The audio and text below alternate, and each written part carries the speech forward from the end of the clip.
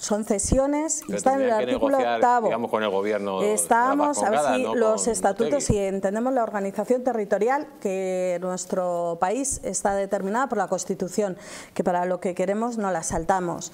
Desde el año 96 hasta el 2000 y pasado hasta el 2004, el Partido Popular realizó varios intentos de negociación con, con la banda terrorista ETA, cuando estaba en activo, cuando estaba en activo, ¿eh? y matando gente, y con Cale Borroca.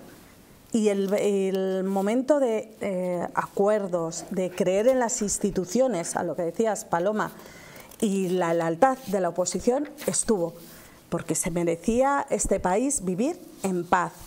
En ese momento se, lleve- se escarcelaron a 200 presos. Llevía- llegaron otros tantos que estaban eh, fuera de España. Se acercaron presos a las, a las cárceles eh, de ETA. Después de romper las diferentes eh, treguas que siguió, siguió asesinando ETA, a muchos también políticos eh, socialistas, no solo eh, a Miguel Ángel Blanco, sino que la pena de todos aquellos que políticos, periodistas, eh, hombres de las fuerzas de seguridad que murieron asesinados en, nombre de, ETA, el gobierno seguía eh, realizando la- los diferentes acercamientos para poder hablar con ETA. En ese momento, eh, voy a leer unas palabras del entonces ministro Jaime Mayor Oreja, que, en el cual indicaba que estaba dispuesto a dialogar con la banda terrorista ETA sin exigir a cambio la entrega de armas. Mayor Oreja señalaba que el Gobierno no tiene todas las cartas en su poder y asegura, estamos dispuestos a dialogar, a flexibilizar la política penitenciaria y a estudiar una reinserción de los miembros de ETA de ETA, hacer lo que sea necesario sin exigencias previas y sin negociar la entrega de armas, pero la paz depende de ellos.